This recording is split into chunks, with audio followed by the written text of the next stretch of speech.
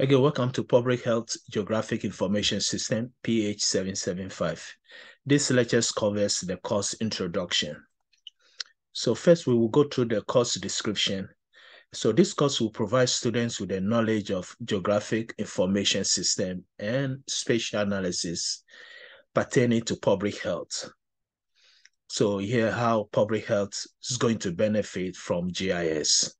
Also, students will focus on the collection, maintenance, also interpretation of spatial data.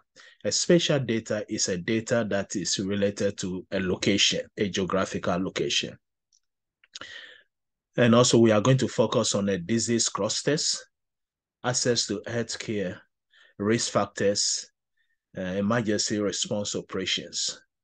Also, we're going to have a hands-on exercise and tutorial in this course using the ArcGIS or the QGIS. These are the two GIS again software applications that can be used to again manipulate, manage, and also interpret a data set.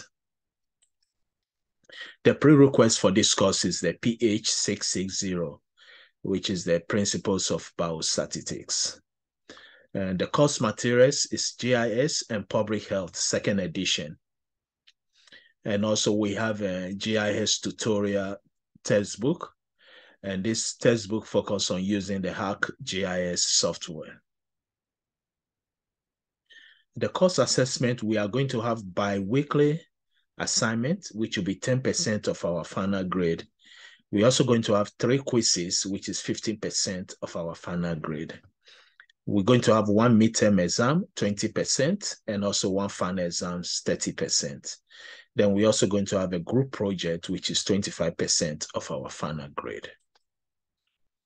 So this is a introductory GIS course related to, again, health. So this course, again, will focus on using the GIS techniques, and we apply it to mostly epidemiological data sets.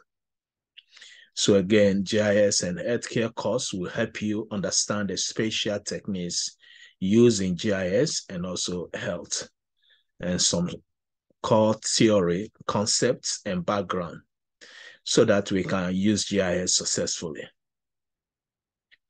So how this course is going to help us? This course, again, will surely put us in a better position to meet our daily decision making needs at work. Also, it will inspire us to start research in this subject. That's a research in GIS related to, again, epidemiological data set or public health in general. We're also going to learn some techniques on how to use the GIS software and apply it on public health data. So this is the course outcome uh, we're going to use the health data in GIS. Also, we're going to learn how to comprehend and intersections between GIS and public health. We are going to learn how to produce maps showing health data and also how to apply multiple geospatial techniques. We're also going to analyze the healthcare data spatially and also how to visualize health data. So in this course, we need a computer since we are taking this course online. A laptop or a notebook is fine, or desktop computer. Uh, we need internet connection because again, GIS uh, software we are going to use. And also this course will be online. So, so the software we are going to use is the ArcGIS, which we have to get from the school. But we're also going to use QGIS a lot because this is an open source uh, uh, system and also it's free. We can download it online for free. So we will get access to QGIS very quickly. And uh, either you are using Windows or Mac or Linux, uh, QGIS is fine. It can run on the three major operating systems. So what is the course content? So the first thing, lecture number one, we are going to learn and also understand the foundations of GIS in the context of public health. Then we are going to do a lab work. And this lab work, we are going to use the GIS to remap John Snow's data. We're also going to learn the foundations of GIS, then working with data in GIS environment using the QGIS software. We're also going to learn how to manipulate data or data manipulation concepts. And each lectures, we are going to have a lab work. So the tutorial one, two, three, etc. These are the hands-on lab work using GIS software. Either we're going to use the QGIS or the ArcGIS. So also we shall learn how to represent health data and collection and also management of health data, how to visualize the health data also.